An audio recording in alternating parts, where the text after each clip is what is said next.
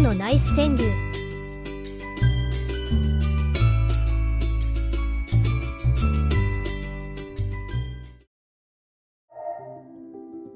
車椅子目線の高さ孫と合う。お題新しい景色寺龍さん。富豪かもしれぬ老婆を道案内。お題相続カエルヤギさん。君を信じてる丸投げ。よろしくね。お題白々しい。カエルヤギさん。レジ前で払ういいよの3ターン。お題白々しい。寺龍さん。富士山が見える日に買う宝くじ。お題洗脳。智子1967間違い電話相手に妻は長電話。お題通話。シャリベン太郎さん。言いたくない小言言うのは君のため。お題白々しいまここしゃん。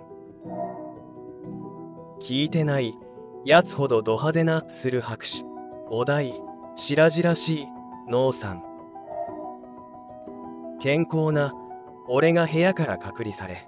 お題鋼鉄コルクさん。猫の手が足手まといの忙しさ。お題足手まとい小スズメさん。あんなにも好きだったかつもう重い。お題新しい景色。中村優里。歳時期の迷いを誘う温暖化。お題新しい景色。関修さん。手料理にほっぺたをさえ落ちるかも。お題白々しい健さん。仕方なくデートするのと弾む声。お題白々しい。ダンデライオンさん。レスリングウェア着たくなる特売日。お題レスリングウェア夏船。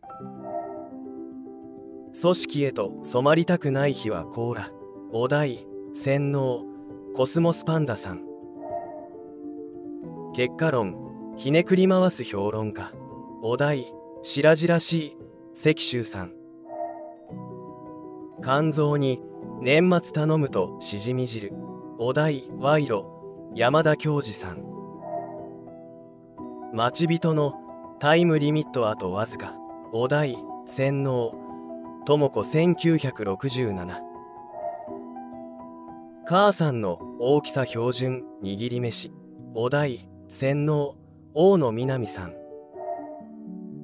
女癖だけはしっかり相続しお題相続ごまめさん。